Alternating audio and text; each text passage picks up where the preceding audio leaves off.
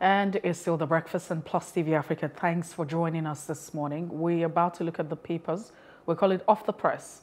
Ezekiel Nya Etok joins us this morning via Zoom. Ezekiel, it's always a delight to have you every morning. The pleasure, the privilege are all mine. Thanks for having me. All right, then. We'll start off with the Punch newspaper this morning. Uh, on the Punch, new Naira scarcity, Sokoto, Zamfara, Katsina border residents trade in the CFA franc. Uh, you know, that's a currency that this countries, eight of them in West Africa, actually use as a, it's a legal tender for them. Long and short of the story. Now, customers without new Naira notes must pay in CFA. Traders insist. Banking halls empty. LCCI says Naira exchange poor, affecting businesses. ICPC arrests currency hawker. Angry youths protest iniquity. And Delta, the riders you find. Now, there's also another headline. There are several headlines here, but I'd like to take this one. Amosun Abiodun clash over performance abandoned project. And Anambra gunmen killed teenager, burn 1,240 INEC materials. Obi Kwankwaso won't step down for Atiku. That's what the party is saying. No favorite candidate, says U.S. envoy. And presidential candidate Wike frustrated, lacks integrity, says the PCC. And that's so much we can take at this point. All right, on the Nation newspaper, the big one there, El elements in government working against Tinubu. Uh, very controversial interview from last night. And of course, uh, the First Lady Aisha Buhari put that interview on his uh, uh, on her Instagram page. It's still there with hashtag Long Live the Federal Republic of Nigeria. Uh, elements in government working against Tinubu, uh, El. He's talking about those in, in government in Aso Rock Villa as well. No cash missing in Ogoni Trust Fund, says Edun. Gunmen burn INEC office in uh, and police station in Anambra. I plan for betrayal. I plan for backstabbing long before they happen. Uh, guess a headline there. I don't know if that's a campaign a message, a headline with the face of a presidential candidate. Uh, how Lekki Epe Road will boost Lagos economy. Uh, Sanwo-Olu uh, opens expressway. Worsening Naira scarcity hurts daily living business. A picture of Kodin Mayfield there. Well, we have the Daily Sun newspaper, and it talks about the allegation. Governor El-Rufai's allegation of sabotage sparks fear in the APC. The big question is who are these elements, you know, in the presidency or in Aso Rock that are sabotaging uh, their own party. Now you find court okays Kanu's request to access doctors and medical records. Uh, that's what also the Daily Sun is quoted to say. He was not poisoned. He will be taking care of the DSS. There's also a story that Nnamdi Kanu has been poisoned by the DSS. Atiku's government considers Southeast for topmost position. Okonkwo uh, allow state determine workers' salary, control own resources, pay taxes to center. Akeredolu tells federal government. Again, U.S. wants politician against undermining the elections while we're opposed to same faith ticket, Khan is still saying. And uh, Otto Eze moves to rescue Enugu from drinking water crisis.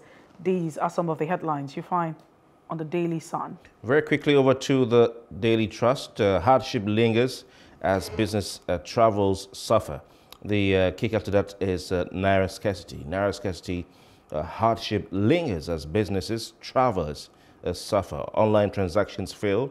Chaos as banks, customers fight. Uh, another one from the paper, one killed as police station INEC office bombed in Anambra. Wike revokes stadium approval for Atiku's campaign in Rivers. Governorship candidates to defend agenda at Media Trust debate can all right. And uh, some of the headlines on the front page of the Daily Trust. Let's quickly uh, bring our guest um, Ezekiel at this time. Uh, architects in Nya Etok, we uh, will start off with the situation with the Naira. I mean, it's on the front pages of uh, the lead story in the Punch newspaper with the uh, CFA being used to trade in parts of the country that border uh, francophone countries, neighboring francophone countries.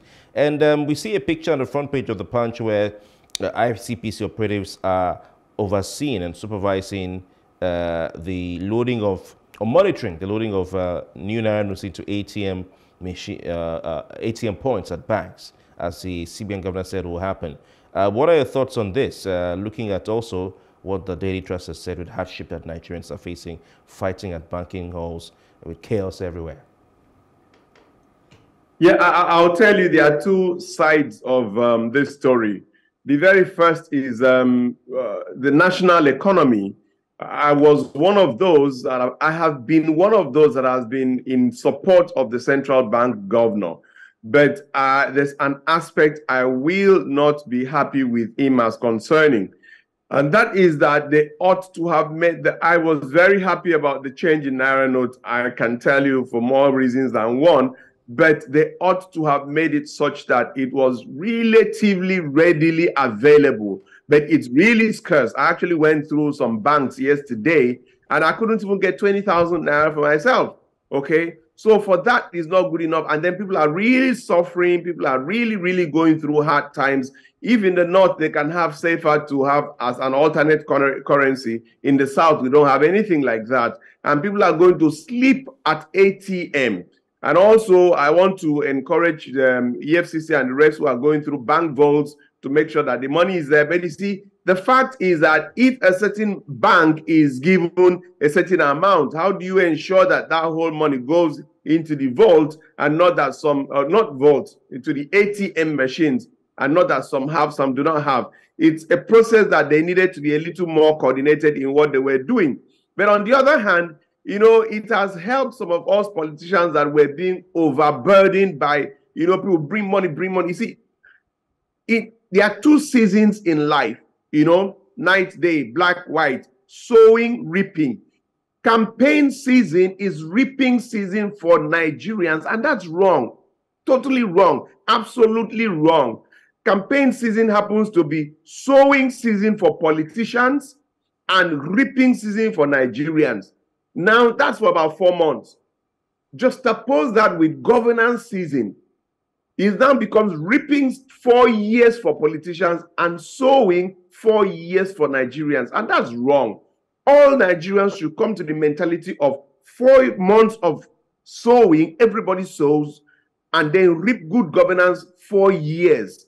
So that's the mindset I hope this would have been able to bring out. But it's still not working very well. I think maybe in the next election cycle, it will be better. Let's have four months of sowing, everybody, and then four years of reaping. So that's to the extent that I supported the policy because there have been too many people who had monetized, monetized uh, electoral processes. So for me, it served them real good. But we needed to balance it such that the poor is not um, made the worse for it. I hope it makes the poor to wake up and insist on whoever has what it takes to give them four years of plenty and not four months of plenty against four years of lack. So I think it's just being able to balance between the two. All right. Ezekiel, yes, let's uh, turn our attention to the uh, Daily Sun newspaper. On the Daily Sun newspaper, uh, Governor Rufai's allegation of sabotage sparks fear in the APC. There's that video. Uh, of course, you also have the wife of the president uh, posting that video as well, just to say, hey, this is true, because that's what it means. I'd like you to share your thoughts. Who are these elements in the presidency that are, you know, working against the presidential candidate of uh, the APC?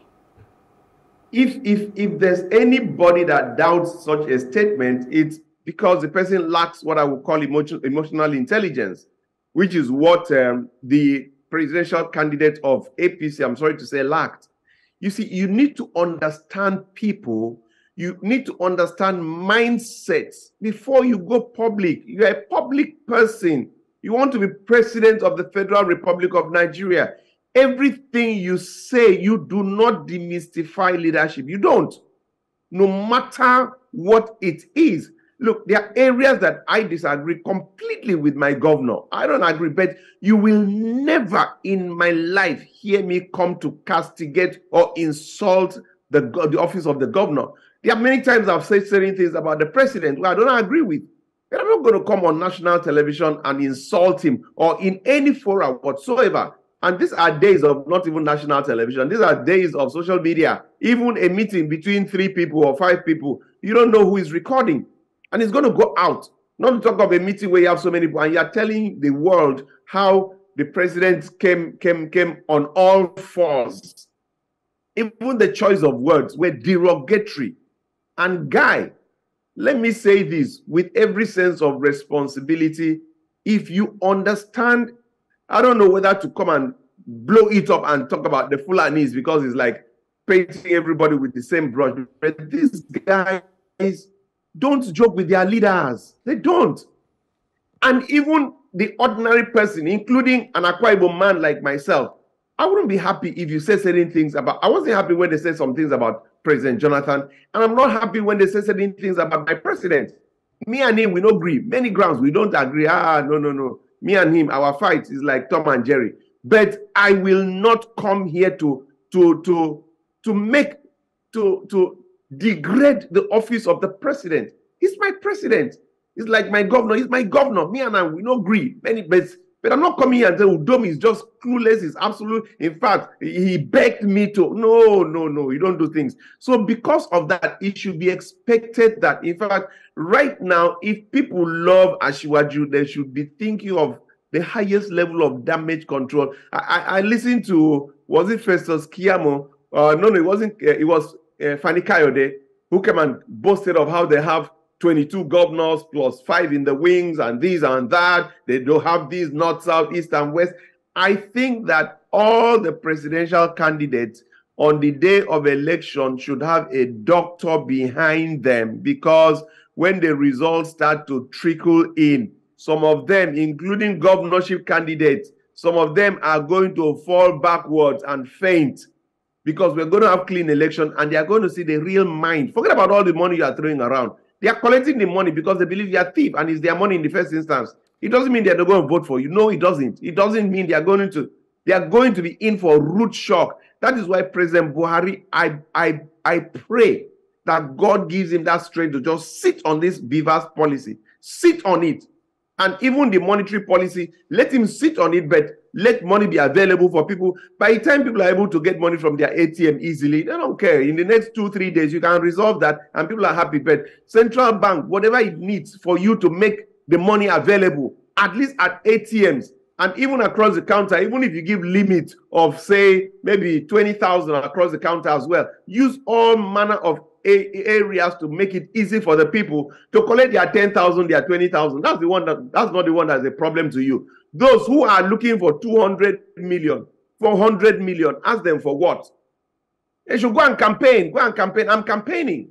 You understand me? Bring out what you've got to say, not money. They they don't need money now. Yes, they need money, but that's not the money. They need the four years of a stable government that takes care of the basic essence of government and governance, security, welfare of the people, chapter 2, section 14, subsection 2b. So I think that all these things should be put together. And what El Rufai said, I listened to it myself. And as he was saying, I could understand where he was coming from. But, but, but, but, but who, who, who could these people be? I mean, uh, in the system, uh, in Aso Rock. They are, they are northerners and southerners who feel that this man, look, we've had enough of you. What's it? Why would you talk to our president like that? They are northerners, they are southerners, they are no they are, they are Nigerians, not necessarily Fulanese. They are, they are people. You don't talk like that to the. I, I wasn't happy. So you're talking I wasn't happy. the, the Abeokuta uh, declaration or the Abeokuta yes, statement yes, yes. where he said Oyegeje Olule. That's where the problem started. The animal, the elephant in the room was found in Abeokuta. Ah, I see. Interesting. All right, let's go on uh, to look at what's going on in the People's Democratic Party. Um, do you think Wike's uh, influence and the the influence of uh, the the G5 or integrity group is waning? You know, people have become tired of of the the, the same song. You know, uh, like uh, a song goes, "How shall we sing the same song in a strange land?" or the Lord song in a strange land. Um, the front page of the uh, uh, uh Punch newspaper has this story: presidential candidate Wike frustrated, lacks integrity, says PCC. Um, I saw something yesterday uh, when people are asking, oh, Wike, you said you will announce uh, uh, together with your group of governors, the preferred presidential candidate you throw your support behind uh, in January, and this is uh, February, and he now replied that he never said he will announce it on TV. you know, so I, I, want to talk about that. Also, um, um, dovetail that uh, into that the uh, front page story of a Daily Trust that says Wike revokes approval for Atiku's campaign in Rivers. Yeah, uh, you see, the, the, the Wike thing, I've tried to follow it, and people may think that Wike has lost, but I think that Wike has achieved what he needed to achieve, whatever happens, and that is that he has slowed down the, the, the, the pace of what would have been the tempo of the PDP candidate. He has largely slowed down his tempo, like it or not.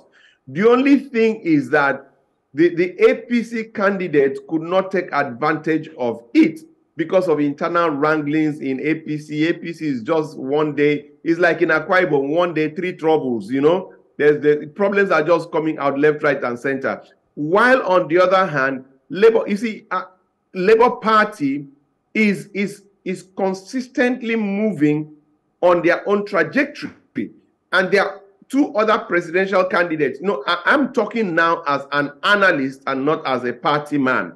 You see, when you listen to two people, you know, one is the SDP candidate and the other one is the ADC candidate. But for the internal issues within my party, ADC, these are two candidates that would have really, really caused a major upset in this country because their sound bites, their intelligence, their, their understanding of issues is something to write them about. But you see, because they don't have the sort of platforms that these others have, you don't have, as of today, the talk would have been between ADC, APC, uh, sorry, ADC, Labour, and um, SDP. As of today, that would have been the conversation between the three parties because it would have been the new kids on the block. But you see, Labour Party comes in, he cannot really assume that new kid on the block because of where the man has come from, you know. But if they had had these three people, you know, ADC, a new kid, SDP, a new kid, and then Labour would have been able to come in and play within. This would have been the conversation. But because that, that new conversation is missing, we are still talking about PDP and um, APC. These guys effectively have, have little or nothing to offer, in my opinion. Thank you so much. Uh, we have to let you go. It's 7.55 on the and congr congratulations uh, uh, on, on the, uh, sorry, Mercy. Uh, we, we need to remember Ezekiel was part of um, the Akwa Ibom security debate uh, yesterday. Oh, you should have watched it. You must watch it. You must. M U S T. You must watch I know you it. won the you, you won the debate. I'm sure Mercy agrees. Now you thought they say man when they dance, you don't know how him back there. But reading from the comments, God was awesome. God gave me the most. It was was great. All right. All right. Thank you. All right. Thank you so much. We wish wish you were successful there ahead. Thank you. All right. Yes, Mercy, I think uh, if he wins, uh, we'll, we'll, go to you for, for a vacation. we'll be right back. We have a discussion ahead. We're talking about uh, the security situation in the country and the need to make Nigeria's uh, borders impenetrable ahead of the election. Stay with us.